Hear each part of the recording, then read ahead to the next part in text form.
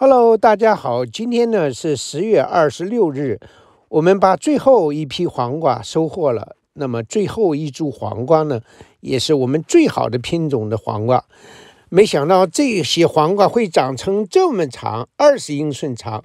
如果我们在商店里看到这样的黄瓜，我们一定会想，不知用了多少化肥吹起来的。可是我们的黄瓜是有机黄瓜，没有任何化肥。这些黄瓜不仅长得大，而且非常的高产。这些黄瓜长这么大，它的口味并没有降低，那么原汁原味，非常好吃。我们从最后可以看到，那么黄瓜是由绿色最终变成黄色，这也许就是黄瓜的名字的来历。只是个猜想了。OK，这么好的黄瓜，赶快留种。赶快秀给大家！这个拔园以后留下的这个老黄瓜，可以，应该这个种子都已经比较成熟了。也就是说，你专门留的这一个老黄瓜，其实也不是专门留着了，因为这个留黄瓜。留黄瓜种的时候，因为它长的时间比较长，你要是留黄瓜种的，一开始就开始留，然后呢，留了黄瓜种，它会影响上面的黄瓜长，所以一般情况下，我有时候经常不留黄瓜，但不留黄瓜种。但这个呢，就是一不小心它长老了，在底下，那就就让它长起来了。你看这个黄瓜种看起来还比较成，然后把它扩开以后，把里边的种都挖下来。这个黄瓜已经都熟的比较过了，黄瓜本身也不能吃了。就就是留最后一个两个就 OK 了，一个就够了。你看这么多种，根本都对，根本都吃一颗种，一颗黄瓜留的种就足够第二年用的了。对，早早的育好的。对，早早育种。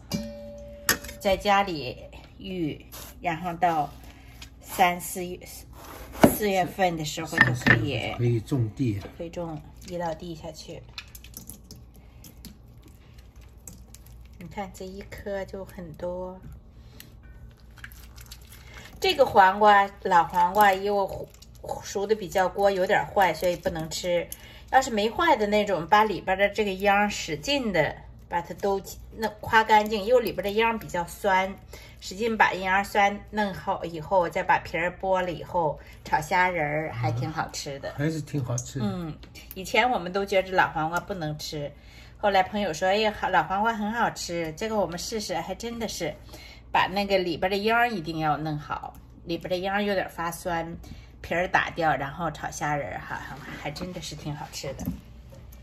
这些黄瓜种这样挤一挤它。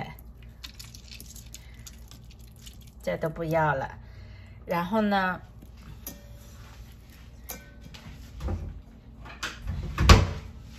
有这里边有很多秧，你就把它倒到这里边来，倒到这里边来。这个黄瓜种就是说，它有些都是不成熟的，不成熟的你留着也没有用，第二年它也不发芽，也长不好。所以说，就把最成熟的把它留着。那怎么样子弄呢？就弄一点水儿。放到这个，你看我的这个地里很密，所以种子也漏不出去。然后呢，多弄点水里边，弄在水里边。你看飘在上面的这些，你看了吗？只要飘在上面，就说明这些种子都是不成熟的种子，都没有用的。你看，你看，所以说那些都不要了。转悠，对，一转悠，然后底下底下。底下的沉地沉到底下的那些都属于留下来了，都属于好种子了。嗯，上面的这些种子就就就就是都是不成熟的种子，你留着也没有用。所以说这样子留下来，底下的这些是嗯，你在水里边你可以看到都是飘在上边。你看底下还是有一些在在底下，在底下那些还是好的。你看这些上面的这些，你看捞走就行了。你可以。把它倒掉，嘣，倒掉，你看倒的过程当中，沉在沉在底下的沉在底下，沉在底下的就是留下来了。成熟的种子，嗯，对，这几个种子都可以了。嗯那这些这些种就是比较成熟的种子，嗯然后你就使劲的用水冲一冲，把里边的那个瓜秧子冲掉。嗯，不冲掉的话，它就容易腐蚀烂。对，晒的时候容易烂。嗯你看这样，你看里边还是有一些有一些，，It's OK 了。不是有一些那个飘飘的东西，嗯但你都都都可以把它弄掉。嗯 Oops，Oops，技术不熟练，但是你看嗯，可以把这些东西都飘出来，嗯因为它都是发青。发青，你可以把这些，嗯看这些东西都可以飘走。嗯看，可以了。你看了吗？哦，对，就可以把这些里面的东西都飘走。剩下的呢，就是比较好。你看这些、这些、这些秧秧都飘走了。对，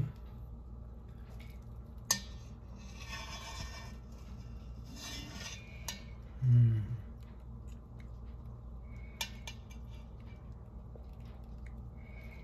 那实际上这种办法是别的东西留种也可以采取这种办法。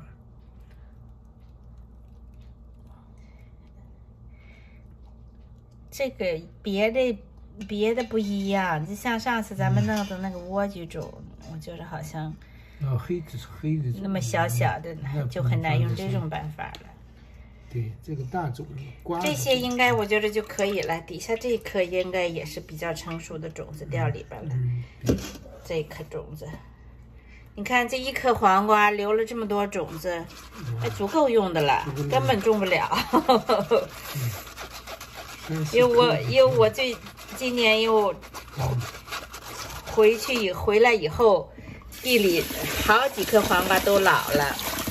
给了朋友一个，他说：“哎乖，他弄一颗，然后那十年也种不完，每年种两颗，十年也种不完，就是因为你种没有很多地方，种不了几颗，所以说有一颗留种就足够了。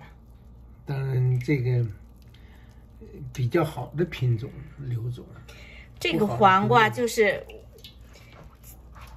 好像这个黄瓜呢，就是没不是那种中国式的那种黄，这个黄瓜像有点小甜瓜一样。嗯，我们回来以后，黄瓜尽管老了，但是削了皮儿以后吃起来脆脆的，好像那个黄瓜还挺好吃。你你看看这黄瓜，一般哪有黄瓜会长这么大？哦，你看皮 多厚啊，粗，就像哈密瓜一样。有一点像，吃起来像哈密瓜。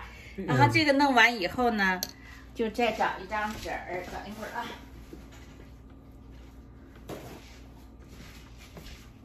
就把它好，弄一张餐巾纸，好，